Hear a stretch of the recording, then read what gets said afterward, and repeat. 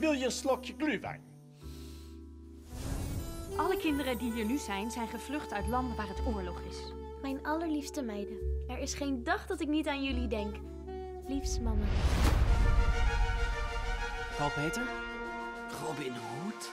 Wat doe jij hier? jij moet stelen van de rijken en geven aan de armen.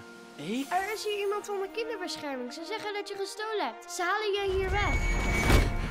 Doe gewoon alsof ik er niet ben. Heb jij toevallig een meisje met een bruine baret gezien? Hoe oud was ze? Vera, Ik ben Carl Peter. Iedereen moet zijn steentje bijdragen. De armen verdienen beter. Vrolijk kerstfeest! Wacht even, wat heb jij precies gedaan? Ik heb het pakketje weggegeven aan een arme man. Ik woon gewoon met een communist onder één dak.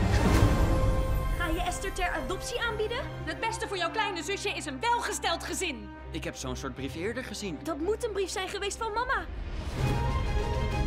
Dan kun je eindelijk je jonkvrouw redden. Vrolijk kerstfeest, maar niet heus. Het is belangrijk.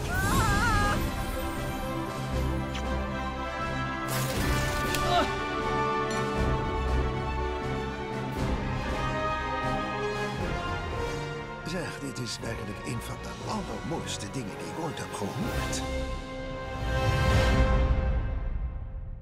Het is fenomenaal.